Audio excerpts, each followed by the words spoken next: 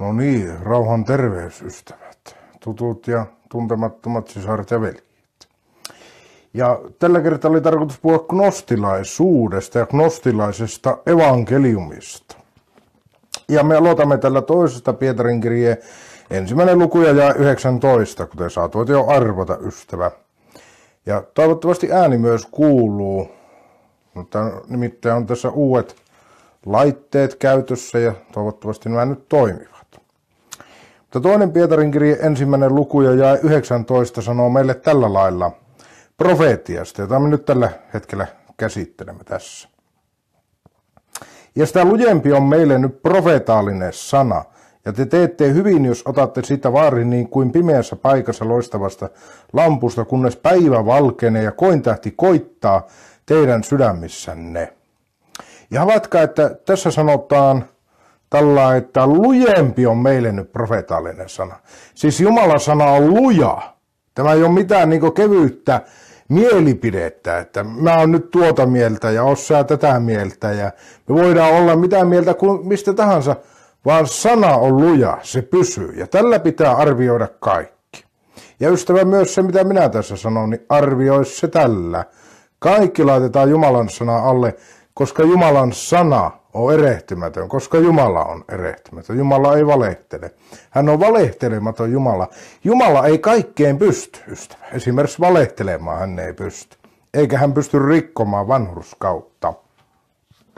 Ja semmoinen ensimmäinen suuntaviitta, mistä me lähdetään liikkeelle tähän aiheeseen, löytyy Saarnaajan kirjan ensimmäisestä luvusta. Ja se on mielenkiintoinen just saarnaaja, paljon puhuu tutkimisesta tässä saarnaajan kirjassa. Ja saarnaajan kirja, vaikkakin on kirjoitettu ikään kuin luopion näkökulmasta, niin se on erittäin rikas kirja, että kannattaa lukia saarnaajan kirjaa aina silloin tällöin. Mä nyt kohtasin yhden vanhan uskovaisen, joka oli menestysteologiassa, 17 vuotta ollut menestysteologiassa ja opetti raamattua, mutta ei koskaan ollut lukenut saarnaajan kirjaa. Ja tätä kannattaisi joskus lukea, mutta me tätä ihan aivan alusta luetaan pari jaetta, jakeet 9 ja 10. Mitä on ollut, sitä vastakin on. Ja mitä on tapahtunut, sitä vastakin tapahtuu. Ei ole mitään uutta auringon alla. Jos jostakin sanotaan, eh, jos jotakin on, josta sanotaan, katso, tämä on uutta, niin on sitä kuitenkin ollut ennen ammoisina aikoina, jotka ovat olleet ennen meitä.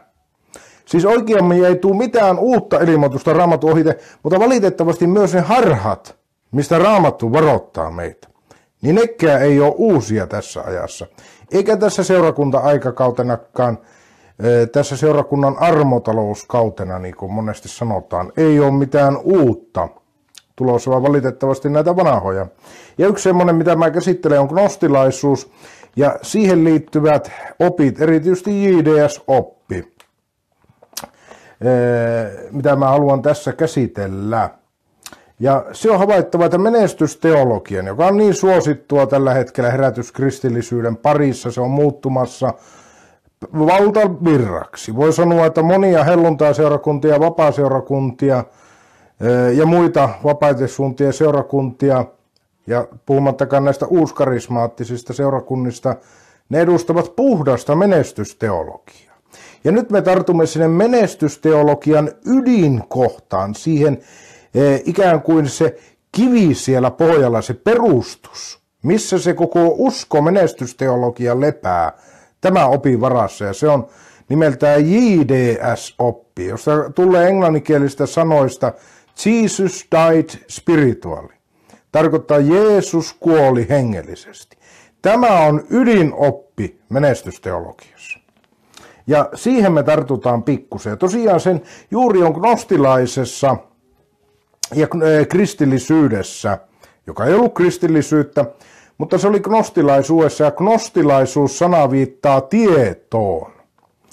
Ja se lähti liikkeelle toisella vuosisadalla ja se oli kristillinen kultti ja harhaliike, jossa oli muutamia kummallisia oppeja. Esimerkiksi siellä oli oppi, että on hyvä Jumala ja paha Jumala. Sitten siellä on oppi, että vain henki on todellista. Ja äh, sitten siellä oli, että piti olla tämmöinen erityinen henkiopas oppi siinä. Ja erityisesti Jeesuksesta mentiin harhaan.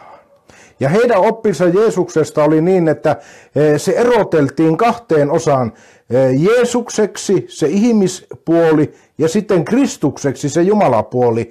Ja se oli niin, että Jeesus kun tuli maailmaan, hän tuli pelkkänä ihmisenä. Ja sitten kun pyhähenki laskeutui, niin Kristus laskeutui yhteen Jeesus Kristus. Ja taas sitten kun tapahtui niin, että Kristus meni ristille, Jeesus meni ristille, niin se Kristus-osa irtautui ja hän kuoli jälleen ihmisenä sitten. Ja nämä samat opit ovat menestysteologiassa. Kenosis oppi, että Jeesus tyhjentyi jumalisuudesta, että hän oli pelkkänä ihmisenä. Ja sitten se toinen puoli, että ristin kuoleman kohdalla, että se pyhä henki jätti Jeesuksen, että hänestä tuli jälleen ihminen pelkästään. Tai täysi ihminen tämän opin mukaan, niin se oli tämä JDS-oppi. Ja tähän me tartumme, tähän ristin työhön. Nyt mennään aivan ytimeen siihen, mitä tapahtui todella ristillä. Joten tässä ollaan nyt erittäin tärkeissä ulottuvuuksissa.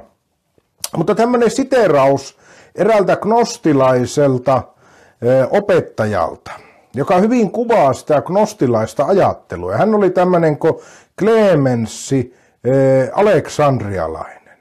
Ja hän sanoo, että tämä on niin se heidän ajatuksen oppiansa. Ystävä, kun kuuntelet, niin huomaat, että menestysteologiassa hyvin paljon samanlainen oppi liikkeellä. Nimittäin tämä gnostikko sanoo näin.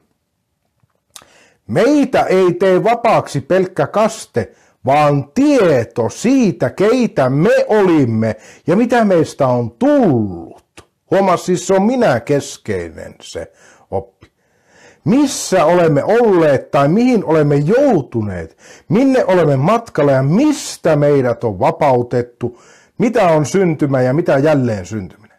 Eli se oman identiteetin löytäminen, se minä itse, se katse on minussa – niin kuin menestysteologiassa, niin tässä gnostilaisuudessa.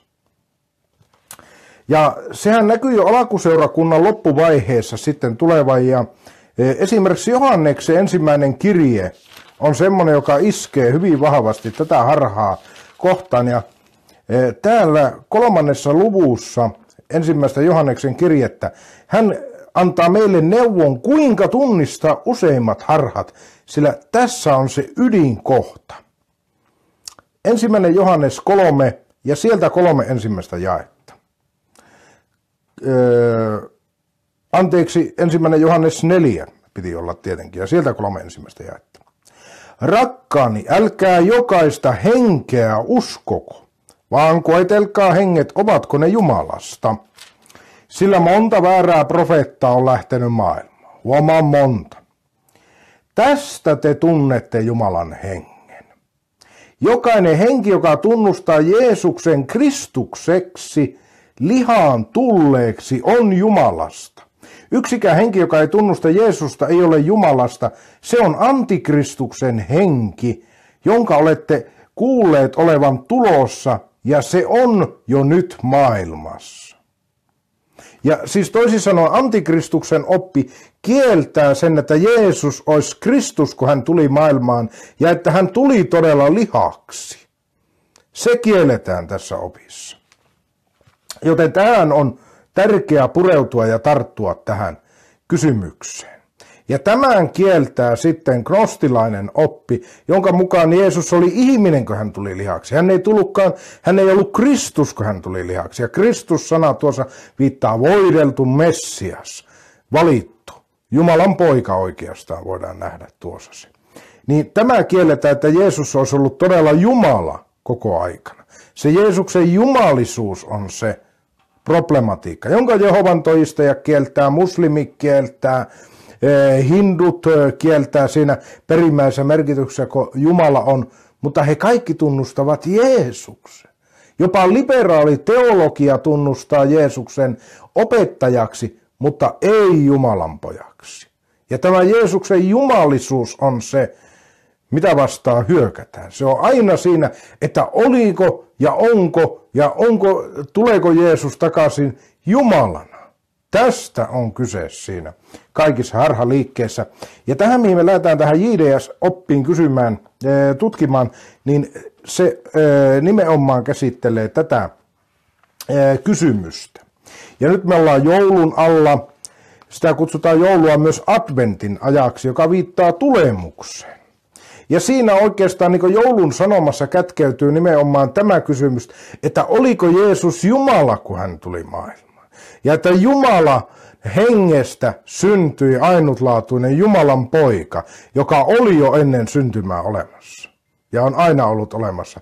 Niin tähän kohtaan lähtee joulun sanomakin liikkeelle, jotenka sinälläänkin tämä liittyy ikään kuin jouluun, kun me puhutaan Kristuksen tulemuksesta ja kuinka, millä lailla hän tuli. Mutta JDS oppii, jos pikkusen katsotaan sitä historiaa, kuinka se on tähän päivään tullut sitten, niin se lähtee tämmöistä liikkeelle kuin Phineas Kuimpi 1800-luvulta, joka oli tämmöinen okkultisti, ja hän tuo ensimmäisen kerran tämmöisen uskonliikkeen perusopit siitä, että henki on todellista. Vain henki on todellista. Ja sitten Mary Eddie Baker, joka oli tämmöinen kuin kristillinen tiedeliike, joka ei ollut kristillisyyttä eikä tiedettä, mutta tämmöinen okkultismiliike, hän toistaa esille. Ja sitten sieltä se eh, siirtyi, tai tämä omaksui tämä Essek V. Kenion tämä opi. Eli Kenion on se tärkeä nimi muistaa. Ja tämä on menestysteologian isoisä. Ja sitten niin sanottu menestysteologian isä on Kenneth Heigin. Eli nämä Heigin ja Kenion. Näillä oli tämä oppi, että Jeesus ei kuollut ainoastaan ristillä, vaan että hän meni hengessä helvettiä, kärsi ja kuoli siellä ja uudesti syntyi helvetistä uudelleen. Ja se sovitus piti ottaa pois ristiltä ja viedä sinne tuonelaan helvettiin. Ja tässä on se problema kohta. No, äh, sitten onko, opettaako tätä nyt sitten kukaan tämmöistä oppia, että Jeesus kuoli helvetissä eikä ristillä? No itse asiassa esimerkiksi TV7 äh, opettaa tämmöistä opettajaa kuin Benny Hinni, Bill Johnson ja Jois Meijerillä on myös ollut tämä opetus, että Jeesus kuoli helvetissä. Tämä on hyvin yleinen näissä niin sanotussa menestysteologian piireissä. Sitä ei vaan aina tuoda puhtaasti esille, mutta esimerkiksi tämmöinen kuin Polovijärven pastorina tunnettu pariskunta Veijo Piipponen ja Aulikki Hartikainen Piipponen on tuonneet tätä oppia nyt kahteen kertaan TV7 esille. Ensinnä Polovijärven pastori jaksossa 400, muistaakseni noin 8-10 minuuttia sillä välillä – he tuovat parin minuutin pätkässä esille tämän JDS-oppi harhan. Ja se ei ole suinkaan, että he olisivat jostakin erehtyneet tähän oppiin, vaan se kuuluu systemaattiseen teologiajärjestelmään. Tähän systemaattiseen teologiseen oppijärjestelmään, siihen ydinasiana oppina on tämä JDS-oppi. Ja sitten tässä eilen itsenäisyyspäivänä Edelleen jatko tämä niin sanottu Palovijärven pastori, eli TV7 pastori, jatko tätä opetusta JDS-opista tämmöisessä sarjassa kuin Rakkauden kosketus. Ja siinä oli jännä juttu, että tämä ensimmäisen kerran tämä JDS-oppi oli tässä Polovijärven jaksossa 400, ja nyt se oli uudestaan tässä Rakkauden kosketus sarjan 40 jaksossa. Se on jännä tämä 440. En tiedä liittyykö se nyt yhtään mihinkään, mutta tuommoinen, tuommoinen tuota, ja tähän mä haluan tarttua. Ja sen tosiaan se otsikko, voitte katsoa itse TV7-arkistosta, jos haluatte tutkia sitä. Tosi varoitan siinä, että rukoile ensin ennen kuin katsot sitä, koska tässä on kuitenkin henget aina takana näissä asioissa. Ja meidän pitäisi lähteä leikkimään semmoisilla asioilla voimilla, mitä me emme tunne, koska ne vaikuttaa meihin. Mutta se on tämmöinen ohjelma Rakkauden kosketus ja Jeesuksen ristin kuolema ja ylösnousemus ensimmäinen osa. Ja siellä oli väliotsikkona kuin tämmöinen, että Jeesus kärsi fyysisen, hengellisen ja toisen kuoleman meidän syntien tähden. Eli Jeesus kuoli kolme kertaa Tämän TV7 pastoripariskunnan mukaan. Hehän esiintyvät TV7 pastoreina. Joten tämä on ikään kuin TV7 nyt uusi virallinen linja tämä JDS-oppi sitten. Mutta todella tuossa ohjelmassa Aulikki Hartikainen aloitti tällä ja mä otan suoria siterauksia nyt tähän väliin ja sitten mä otan Jumalan sanasta tuossa paikkoja sitten, miten ne liittyy. Mitä tässä mennään harhaan. Mutta siellä opetettiin tällä lailla. Rakkaat ystävät, muistathan myös sen, että jos sinä olet jostakin kohtaa eri mieltä ja sanot, että tuo ei oppi ei ole sitä, mikä syvyys mulla on asiassa, niin rakas ystävä, se ei tee meistä silti JDS-opin kannattajia. Eikä harhaoppisia, sillä me tunnustamme samaa tunnustusta tämän roomalaiskirjeen 10.9-10 mukaan silloin olemme samaan Jumalan lapsia. Eli hänen mukaansa riittää, että kun sinä sydämessäsi uskot, että Jeesus on noussut kuolleista, ja sinä suulla tunnustat Jeesuksen Herraksi. Mutta jopa Jehovan uskovat tähän.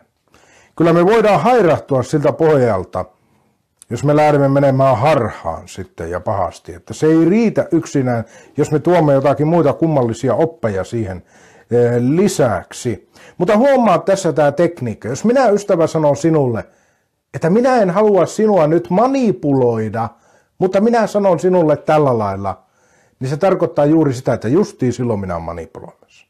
Ja tässä oli erikoinen, että aloitetaan tällä lailla, että että älä sano meitä harhaoppiseksi, eikä me kannateta ollenkaan tämmöistä JDS-oppia. Ja sitten seuraava 20 minuuttia todella tiivistä JDS-oppia. Tuutta kohta näkemään tässä, millä tavalla he opettavat. Mutta ensinnäkin tämä Aulikki puhui tässä uskossa eri tasoista, että on semmoisia eri tasoja.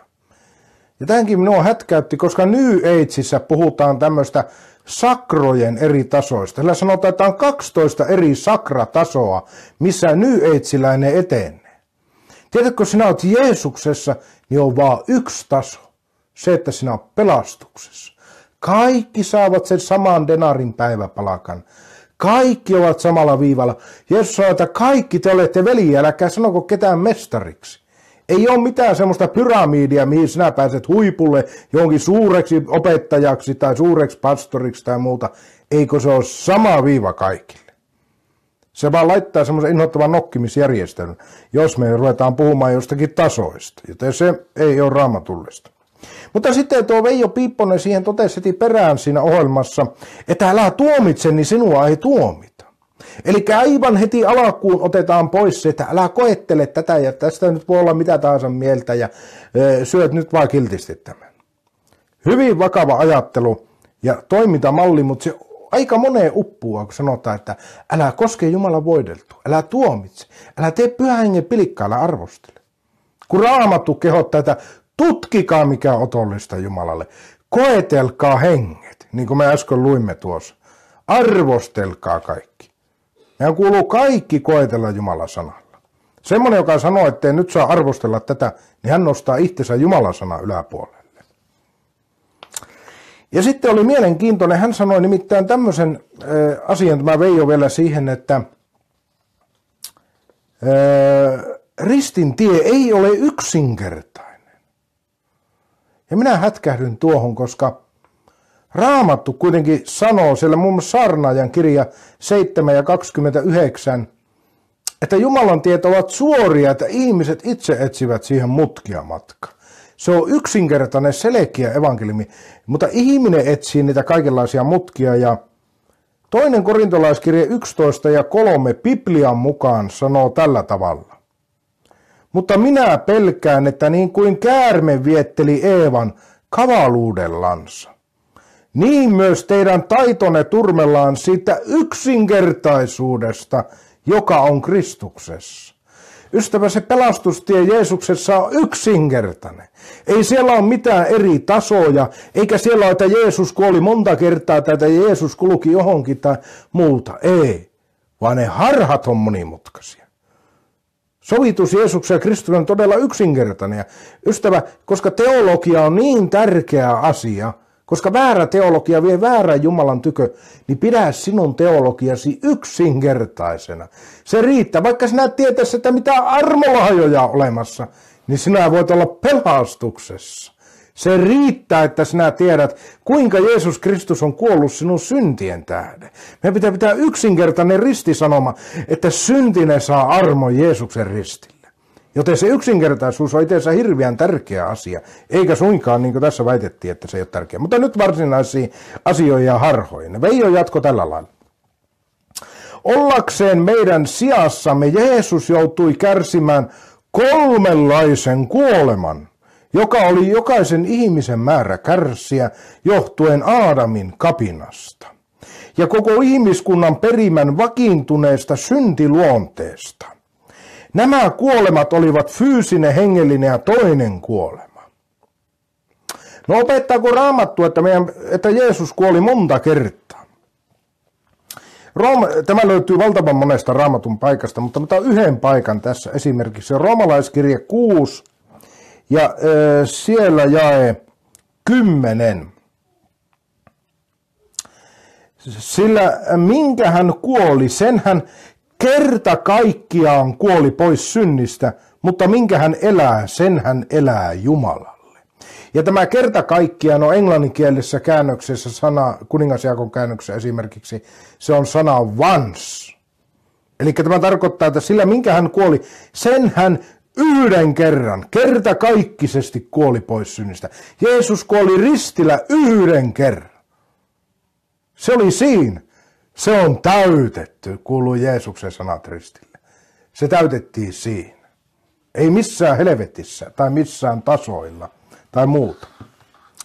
Ja semmoinen, mikä on erityisen, mä muutaman paikan annan tähän ystävä ja mä laitan ne tuohon alapuolelle sitten, kun lataan, lataan tuota, niin YouTubeen tämä video, mutta eh, hebrealaiskirje, joka oli minulle semmoinen mysteerikirje, kun mä tulin uskoon, mä en ymmärtänyt hölkäsen pelähtämään tuosta hebrealaiskirjeestä.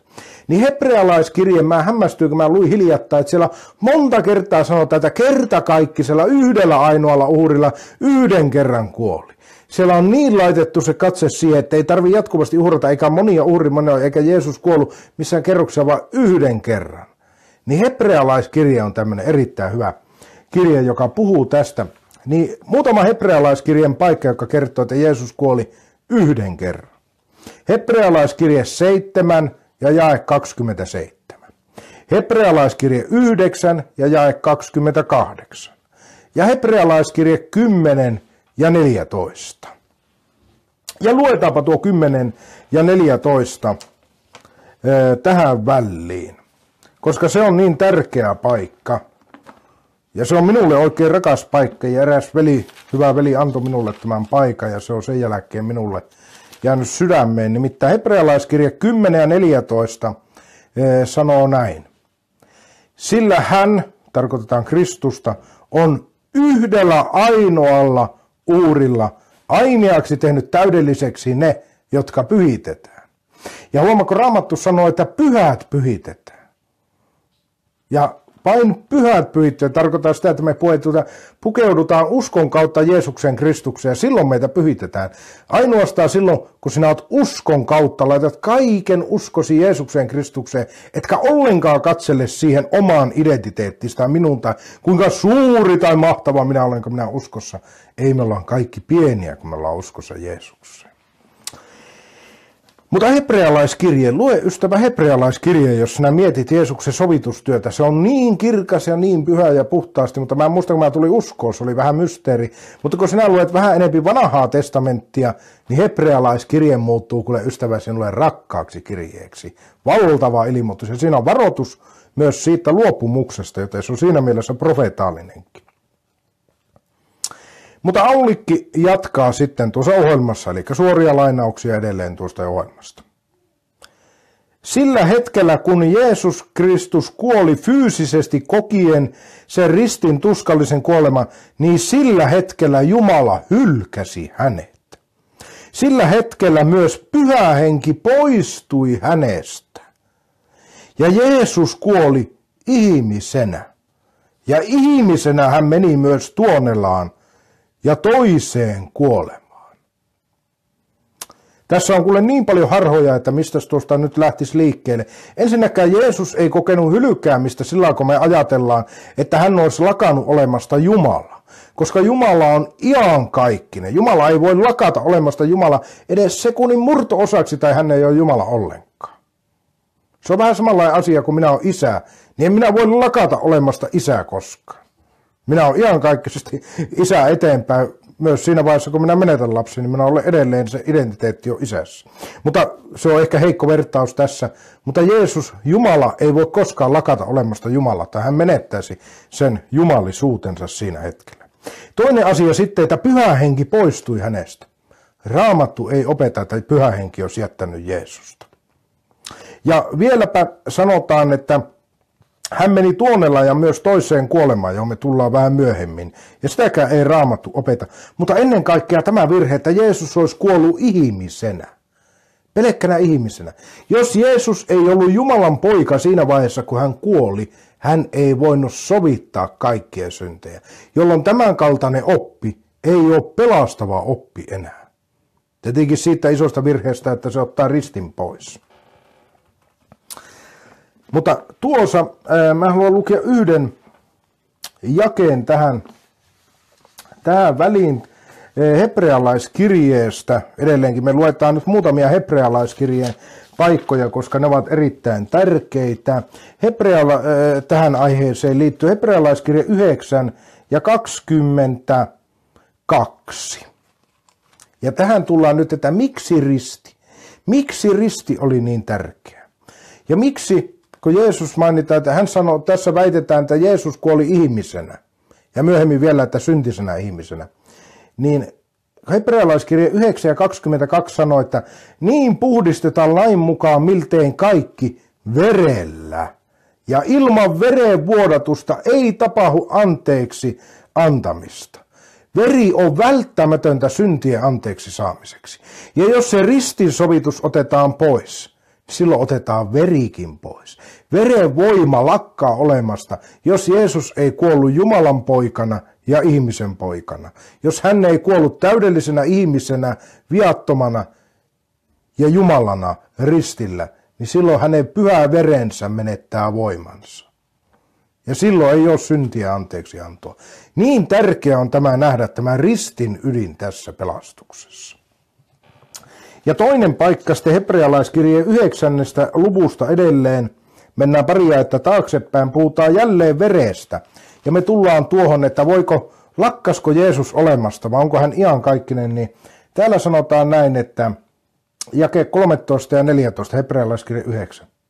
Sillä jos kaurista ja härkäin veri ja hiehon tuhka saastaisen päälle viimottuna pyhittää lihan puhtauteen – kuinka paljon enemmän on Kristuksen veri, hänen, joka iankaikkisen hengen kautta uhurasi itsensä viattomana, ei syntisenä, viattomana Jumalalle, puhdistaa meidän oman tuntomme kuolleista teoista palvelemaan elävää Jumalaa. Minä luen vielä uudestaan tuo jäin 14. Kuinka paljon enemmän on Kristuksen veri, Jeesuksen veri, hänen, joka iankaikkisen hengen, kautta, siis huomaa pyhän hengen kautta sovitti synnit. Ihan kaikki se hengen kautta uhrasi itsensä viattomana Jumalalle, on puhdistava meidän oman tuntomme kuolleista teoista palvelevaa elävää Jumalaa. Siis näin välttämätön on oppi Jeesuksen verestä. Ja se puhdistaa meidän oman tuntomme. Vain Jeesuksen veri puhdistaa. Kolkata veressä voima on niin kuin lauletaan. Ja jos me viedään sitten tänne tämä sovitus pois ristiltä, niin auttamatta katoaa tuosta verenvuodatuksesta oppi, mutta myös tämä risti katoaa siitä. Risti menettää merkityksessä tämän kaltaisessa opissa. Ja todella pyhä henki ei jättänyt Jeesusta vaan hän on ihan kaikki se hengen kautta uurasi itsensä. Ei tapahtunut mitään semmoista. Mutta minkä takia tämmöistä JDS-oppia sitten on gnostila, tämmöisessä menestysteologia, se johtuu gnostilaista maailmankäsityksestä, koska menestysteologian ja gnostilaisuuden mukaan vain henki on todellista, ja tämä liha ja ruumis on tämmöistä niin olematonta materiaalia tai sillä ei ole merkitystä. Ja he opettavat tällä lailla tästä näin, että ihminen on henki, jolla on sielu ja asuu ruumiissa. Opettaako Raamattu näin? Ei. Raamattu opettaa ensimmäisessä tessalonikalaiskirjeessä eri tavalla. Ja tämä on tärkeää nähdä, että ystävä, sinä et ole henki, vaan sinä olet henki ja sielu ja ruumis. Kaikki nämä kolme. Ja, ja, ja. Ei niin, että sinä olet henki, jolla on sielu ja asut ruumissa. Tämä on hyvin yleinen. Muun muassa Beni Hinni opettaa tällä lailla. Ja mitäkin ilmeisemmin myös tässä Polovierven pastorissa tuli tämä esille. Mutta ensimmäinen tessalonikalaiskirje, se kieltää tuon opin. Nimittäin siellä sanotaan viidennen luvun jakeessa 23 näin. Mutta itse rauhan Jumala pyhittäköön teidät kokonansa ja säilyköön koko teidän henkenne ja sielunne ja ruumiinne nuhteettomana meidän Herramme Jeesuksen Kristuksen tulemukseen. Mutta semmoinen, jos on semmoinen käsitys, että vain henki on todellista, niin eihän silloin ruumiin kuolema voinut riittää ristillä, vaan silloin pitää etsiä tämmöistä hengellistä kuolemaa siihen Jeesukselle. Ja Tämä tulee sieltä gnostilaista pohjasta, joten se on se syy siinä. Jatketaan toinen siteraus tässä. Jälleen Aulikki puhuu tuossa ohjelmassa.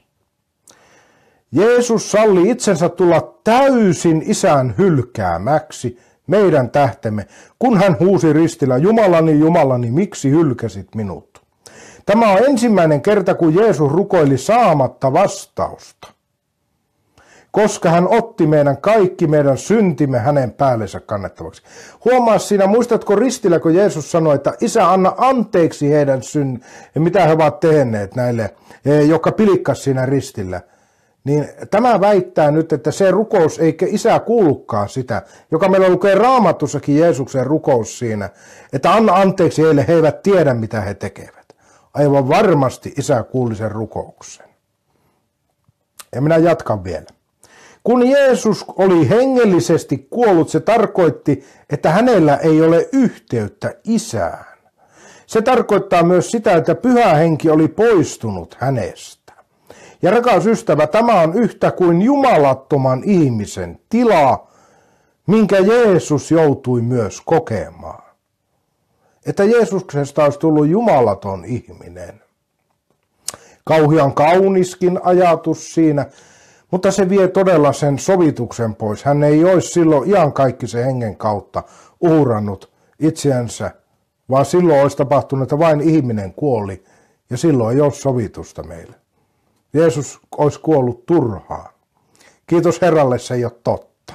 Mutta tämmöinen, tämmöinen oppia, mä luen ensimmäistä Pietarin kirjeestä, mitä Pietari puhuu ristin sovituksesta. Ensimmäinen Pietarin kirje, toinen luku, ja sieltä jakeet, otetaan tuo jae 24. Mutta jakeesta 23 tuossa.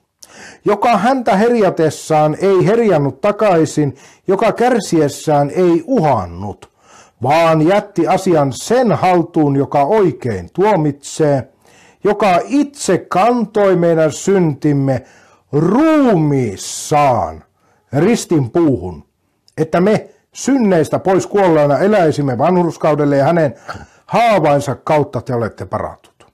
Ja huomaa, mitä tässä tapahtui. Hän on ruumiissaan kantoi siihen ristin puulenne meidän synnit.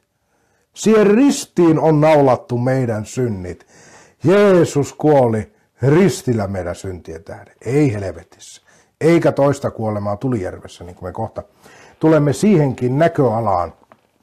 Ja sitten tuossa. Ja huomaatko, että kun Jeesus on iankaikkinen henki, hän ei voinut hengellisesti kuolla, toisin kuin tässä väitetään, niin muistatteko Jeesus sanoi, että minä olen. Ja se viittaa vanhan testamentin Jumalaan. Ja se kertoo se Jeesuksen titteli, minä olen. Hän sanoo monta kertaa, minä olen ovi, minä olen tie, totuus ja elämä. Minä olen, minä olen, minä olen, totinen viinipuu, minä olen ja niin edelleen. Monta kertaa Jeesus sanoo, minä olen, I am. Ja se oli se vanhan testamentin Jumala. Mutta se nimi tarkoittaa jo pelkästään, että iankaikkinen. Iankaikkinen Jumala, jolla ei ole alakua eikä loppua. Ja jälleen tämä Aulikki jatkaa sitten, joka näyttäisi olevan se pääopettaja tässä. Nimittäin kun mä kahtelin, siinä on semmoinen, että Veijo luki aika paljon paperista, mutta sitten Aulikki opetti sitten ihan vapaamminkin sitä, mutta Aulikki sanoo sitten näin seuraavana tässä lähetyksessä.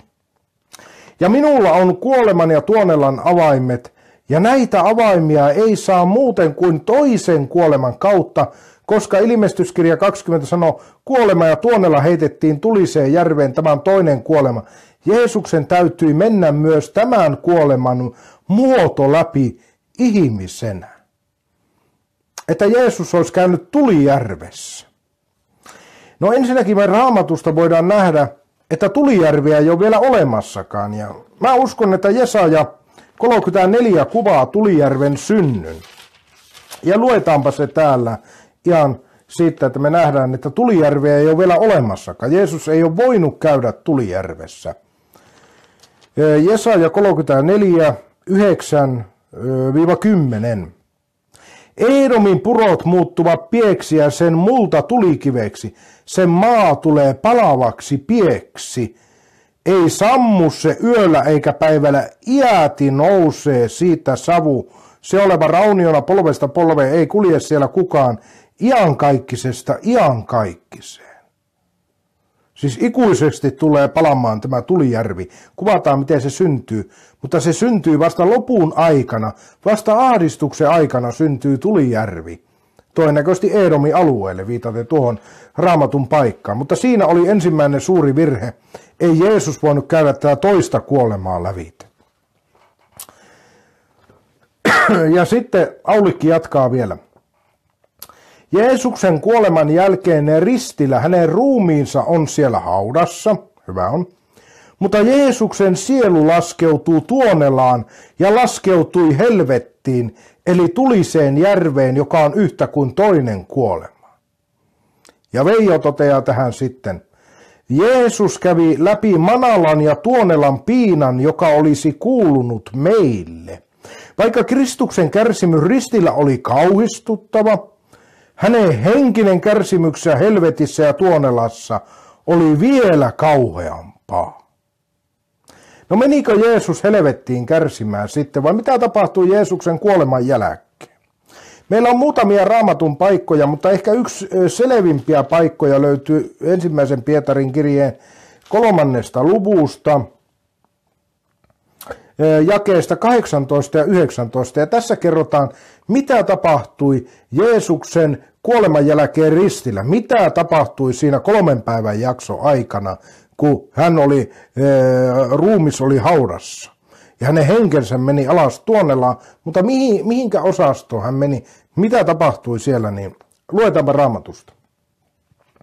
Sillä myös Kristus kärsi kerran, huomaat tässäkin yhden kerran, kuoleman syntien tähden, vanhurskas väärään puolesta, johdattaakseen meidät Jumalan tykö, hän, joka tosin kuoletettiin lihassa. Jeesus on kuollut lihassa, ei hengellisesti, eikä toista kuolemaa, vaan Jeesus on kuollut lihassa, mutta tehtiin eläväksi hengessä.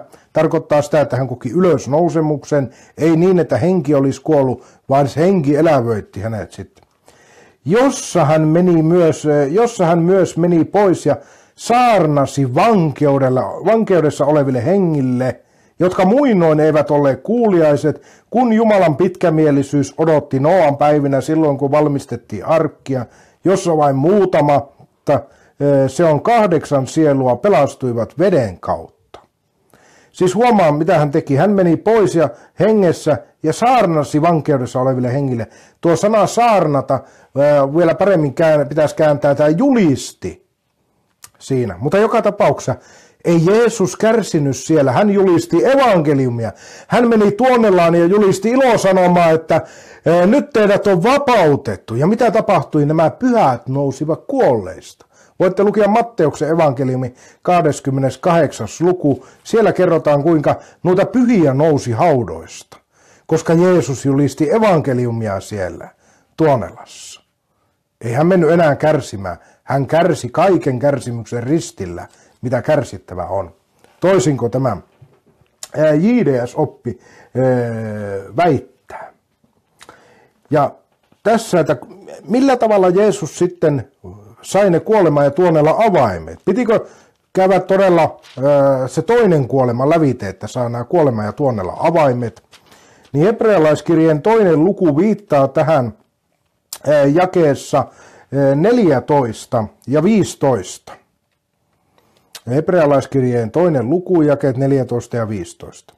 Koska siis lapsilla on veri ja liha, puhutaan jälleen ruumiista, tuli hänkin niistä, osallise- niistä yhtäläisellä tavalla osalliseksi, että hän kuoleman, ja viittaa tähän lihan kuolemaan, että kuoleman kautta kukistaisi sen, jolla oli kuolema vallassaan, se on perkeleen, ja vapauttaisi kaikki ne, jotka kuoleman pelosta kautta koko elämänsä olivat olleet orjuuden alaisia. Tässä tapahtui, kun Jeesus kuoli ristillä, niin siinä hänelle annettiin avaimet. Siinä hän sai kuolemaan ja tuonnella avaimet. Ei hänen pitänyt mennä enää mihinkään tulijärveen kitumaan kolmeksi päiväksi. Se on kauhistus ja iso harha tämmöinen harha oppi. Ja vielä semmoinen yksi paikka, jonka mä haluan lukea tuohon eh, sovitukseen liittyen Kalatalaiskirjeestä, anteeksi, Efesolaiskirjeen toisesta luvusta, ja siellä jakeet 14-16. Kalatalaiskirjeen, eh, anteeksi, Efesolaiskirje, toinen luku, jakeet 14-16. Sillä hän on meidän rauhamme. Kiitos Herralle, hän on rauhan ruhtinas.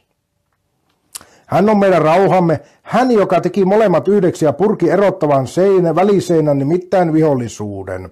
Kun hän omassa lihassaan, huomaan lihassaan, teki tehottomaksi käskyjen lainsäädöksineen, luodakseen itselleen nuo kaksi yhdeksi uudeksi ihmiseksi teidän rauhan ja yhdessä ruumiissa sovittaakseen molemmat Jumalan kanssa ristin kautta, kuolettaen itsensä kautta vihollisuuden.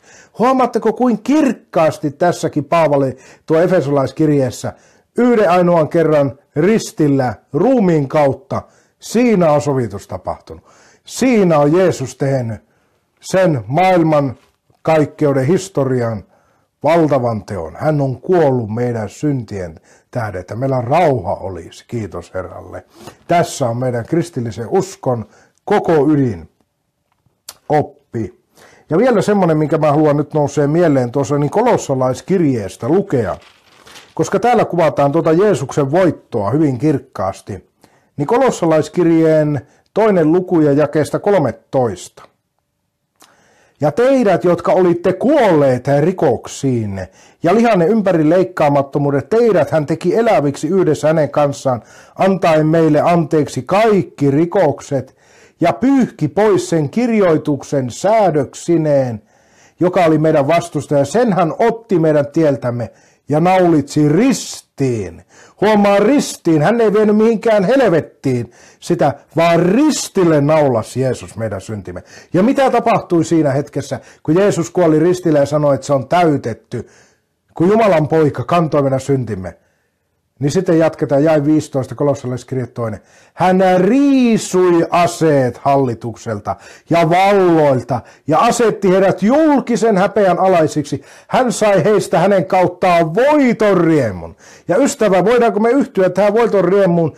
Ja tähän meidän pitää laittaa usko siihen ristiin, että kertakaikkisesti hän on voittanut kaikki hallitukset ja voimat.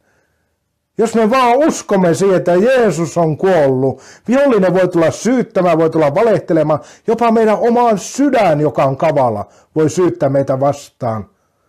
Mutta sittenkin, jos me uskomme, että Jeesus Kristus on kuollut minun syntien tähden, niin ystävä se riittää.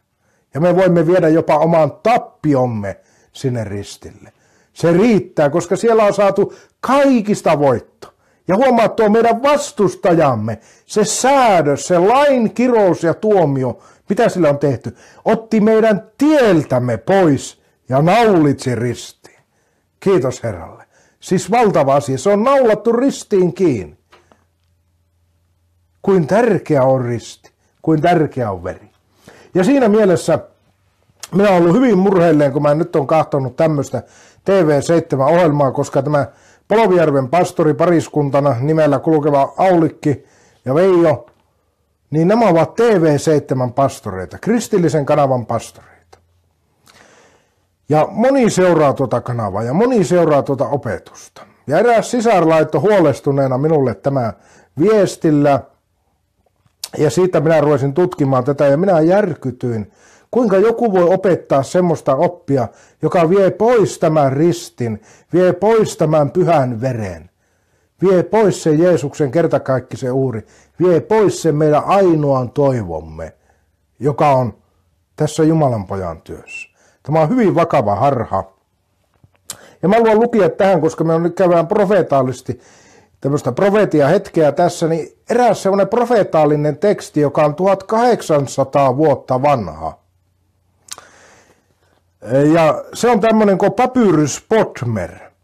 Ja se on jostakin 200-luvulta oleva teksti. Se on apokryyfinen teksti. Se ei ole tietenkään raamattua.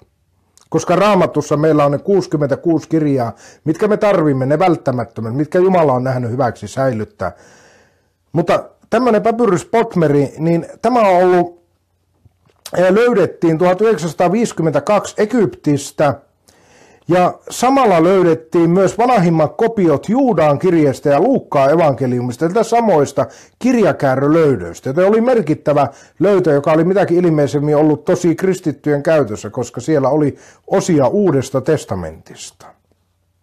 Se ei ole tietenkään erehtymätön, vaikkakin syyrialainen, tämmöinen arameankielinen tai aramealainen seurakunta – Syyriassa piti sitä ihan kanonilaisena tekstinä, mutta minä en usko, että se on erehtymätön teksti. Mutta se, mikä on merkittävää, on se, että se on 1800 vuotta vanha teksti, ja se profeetoi, että lopun aikana gnostilaisuus nousee uudestaan esille. Ja minäpä luen tuon pätkän tuosta tekstistä. Mä oon se itse kääntänyt englanninkielisestä käännöksestä, ja se oli alun perin kreikankielinen teksti, ja siitä on myös te koptilaisia, latinilaisia ja aramealaisia kopioita säilynyt sitten tähän ja löytynyt. Mutta tuossa kirjeessä, joka kulkee myös tämmöisellä nimellä kuin kolmas korintolaiskirje, mutta minä en usko, että se on Paavalin kirjoittama. Mutta joka tapauksessa alkuseurakunnalleen kirjoitus, jossa on profeetaalinen ulottuvuus. Ja minäpä luen, mitä tuo kirje sanoo meille, ikään kuin varoituksena myös meidän päiviimme. Paavali Jeesuksen Kristuksen vanki veljille Korintossa, tervehdys. Koska olen vankilassa, en ole yllättynyt, että tuon pahan opit saavat sijaa nopeasti. Minun Herrani Jeesus Kristus tulee pian, sillä hän on noiden hylkäämä, jotka vääristelevät hänen sanojansa. Eli tässä viitataan, että nämä pahat opit tulevat äh, ennen hänen tulemustaan, koska tässä sanotaan, että hän, Jeesus tulee pian ja liittää siihen, että näitä oppeja tulee sitten. Ja vielä toinen katkelma tuosta samaisesta äh, pienestä tekstikokoelmasta. Mutta Jumala kaikkivaltias, joka vanhurskas eikä hylkäisi omaa luomustaan, lähetti pyhän hengen galilealaiseen Mariaan, joka uskoi kaikesta sydämestään ja hän otti pyhän hengen kohtuunsa, että Jeesus voisi tulla maailmaan, jotta tuo paha voitettaisiin saman lihan kautta, joka vei ihmisen harhaan ja vakuuttaisi ihmiselle, ettei hän ole Jumala.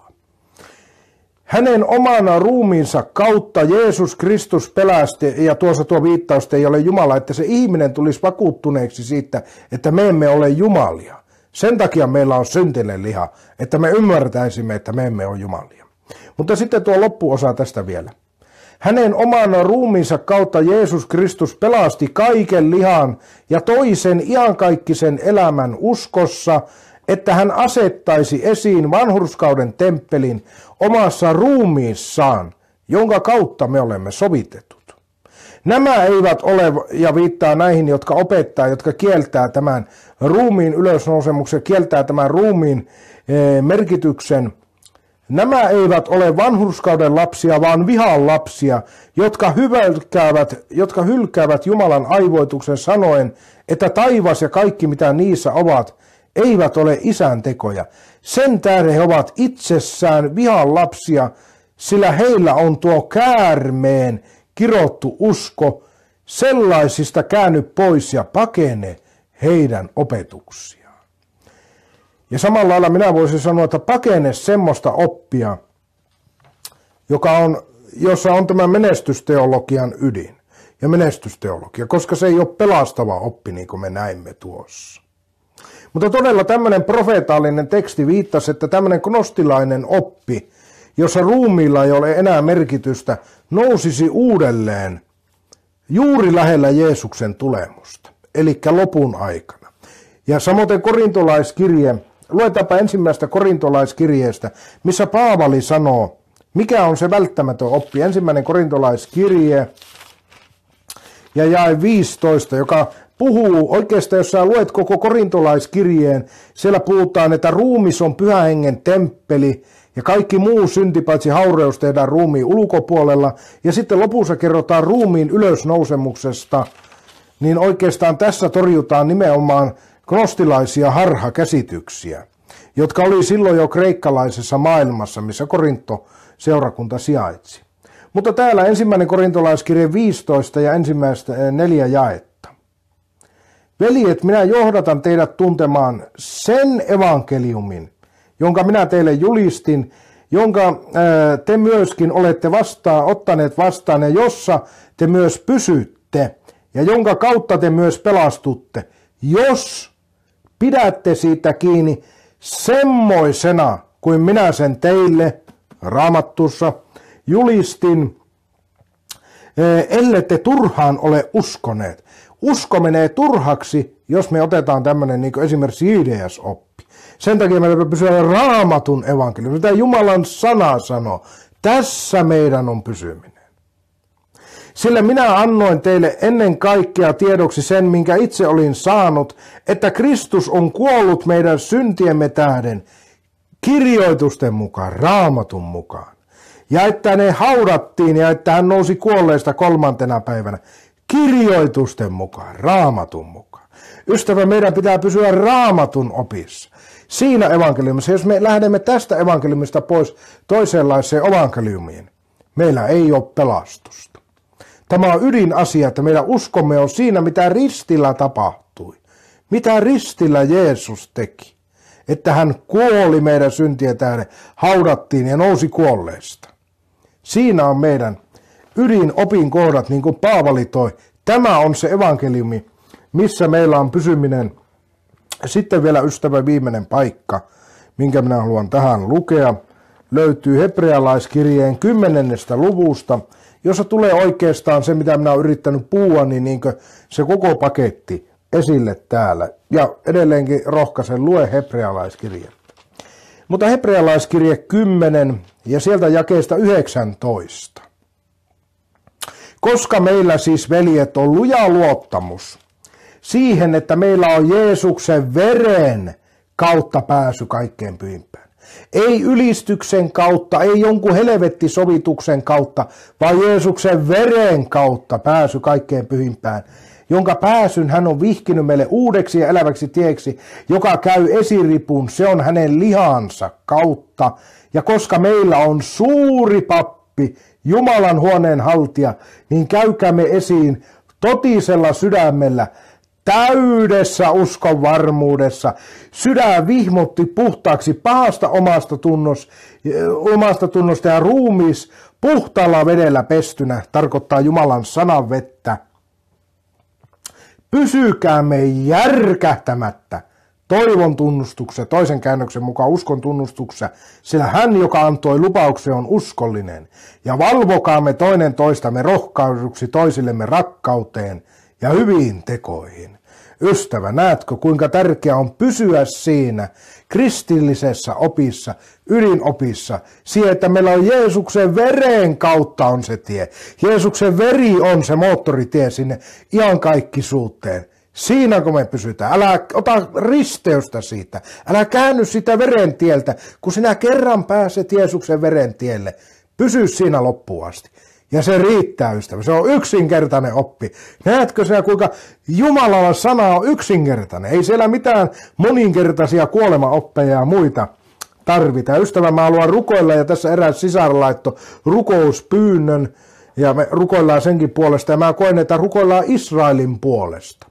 Ja rukoillaan myös TV7 ja näiden ihmisten puolesta, että Jumala antaisi palsamia silmiä, sillä minä itse olin samalla lailla eksynyt, vaikka ihan tuon kyseiseen oppiin, mutta moniin, moniin, moniin noihin harhaoppeihin. Kiitoksia Herra Jeesus sinun sanastasi ja ennen kaikkea kiitos Jeesus siitä sinun verestäsi, jonka sinä olet vuodattanut Herra ristillä meidän syntiemme tähden. Kolkatan keskimmäisellä ristillä, kolkatan kummulla. Kunnia Jumalalle, taivaan ja maan Ja kiitos Herra Jeesus sinun veresi voimasta, että meillä on sen kautta pääsy kaikkeen pyhimpään. Pyhitä Herra meidät totuudessa, pese Herra meidät sinun verelläsi puhtaaksi. Anna anteeksi meidän syntimme, mitä me olemme tehneet niin sanoin, teoin kuin ajatuksinkin ja tekemättä jättämisiä. Ilmesty Herra tuohon TV7 noin johtohenkileihin, Aulikille ja Veijolle, anna palsamia silmiä, armahda Herra heitä. Anna heille mielenmuutos. Herra, me emme halua tuomita, vaan me nuhtelemme sitä harhasta, Herra, mihin ovat eksyneet, Herra. Varjelle, Herra Jeesus. Herra, tällä Laura ja Ville laittanut rukouspyyntöä, niin Herra siunaa heitä. Ojenna kätesi, Herra, ja ilmesty siihen perhekuntaa, Herra. Kunnia Jumalalle. Ja Herra, ilmesty tälle Tamaralle, joka on eksynyt johonkin harhaan, Herra. Anna palsamia silmille, Herra. Me kaikki olimme eksyneet pois totuudesta, mutta Herra Jeesus, ole armollinen ja ilmesty, Herra. Ilmesty, Herra, tuolle sisärelle, Herra, että hänen silmässä avautuisi. Ja siunaa jokainen katsoja, Herra, joka tätä katsoo nyt tai myöhemmin, Herra. Kirkasta Jeesus Kristus ristiin naulittuna, Herra. Sillä Herra, siinä on meidän toivomme. Siinä, että Jeesus Kristus on kuollut meidän syntien tähden. Ja että hän on lahjoittanut meille pelastuksen tien. Kunnia Jumalle. Siunaa Herra Israelia ja Jerusalemia, Herra. Ilmesty Israelille, siellä on tehty isoja päätöksiä. Ilmesty Herra sinne ja Herra, me saamme toivottaa rauhaa Jerusalemille. Ilmesty Herra rauhan ruhtinaana sinne ja varjelle Herra juutalaista kansaa, anna heillekin palsamia silmille, että he näkisivät Messiaansa, Jeesuksen Kristuksen, että monia sieltä Herra saisi pelastua. Kunnia Jumalalle, taivaan ja maan luoja. Avaa Herra sanasi jokaisen lukijalle, Herra. Avaa tuota hebrealaiskirjettä, avaa meille tätä Jeesuksen Kristuksen sovitustyötä. Auta meille, kun me tutkimme vanhaa testamenttia, että me löydämme Jeesuksen sieltä. Ilmesty Herra Jeesus meille. Auta, että meidän silmään eteemme olisi kuvattuna Jeesus Kristus ristiinnaulittuna. Että me voisimme, Herra, saada ne ymmärryksen silmät, hengen silmät sinun tuntemiseksesi. Kunnia Jumalalle. Herra, jää siunaa jokainen veli ja sisar, jotka on katsoneet tämän ja kaikki muukin, Herra, joka myöhemmin kahtoo, Herra, ja johdata meitä. Anna johdatusta, Herra, henkesi kautta. Ja Kiitos Herra kaikille sisarille ja velille, jotka ovat rukoilleet minun puolesta ja muullakin tavalla Herra auttaneet minua Herra. Kiitoksia Herra, mä haluan erityisesti siunata noita sisaria ja veliä, jotka on muistaneet minua rukouksia tällä heikolla paikalla Herra. Ja Auta Herra kaikkia noita, jotka on vielä eksytyksen kavallissa juonissa. Avaa heidän silmänsä, Herra. Pelasta ja johdata monia tälle ristintielle, yksinkertaisuuteen Jeesuksessa Kristuksessa. Kunnia Jumalalle. Herra, anna meille voimaa, Herra, voimastasi, että me saisimme julistaa sinun sanasi totuutta. Ojenna käteesi, Herra, että ihmeitä ja merkkejä tapahtuisi, että Jumalan ihmeitä saisi tapahtua ennen kaikkea sydämme osa-alueella, että monet sais vapautua syntien kahalleista. Kiitos, Herra Jeesus, ja siunaa, Herra, meitä ja meidän perhekuntiamme, Herra. Taivaan ja maan luoja, väkevä Jumala, santi paratosse, karatas. Pesse karanto puupa, tekampaa karete pesse, sinte korote pesse, rantakasse, Halleluja. Kiitos Herra, että sinä olet rakkaus, Herra, ja se on meille osoitettu. Siinä on ilmestynyt rakkaus, että Jumalan poika on kuollut meidän tähtemme. Siinä on rakkaus, että synti tuli tuomituksi Jeesuksen kautta, että me olisimme vapaat tuosta tuomiosta. Kunnia Jumalalle. Kiitos rakas vapahtaja. Jeesuksen Kristuksen nimessä ja veressä. Aamen. Aamen. Ystävä, ole oikein runsasti siunattu ja taas ensi kertaa. Moi moi.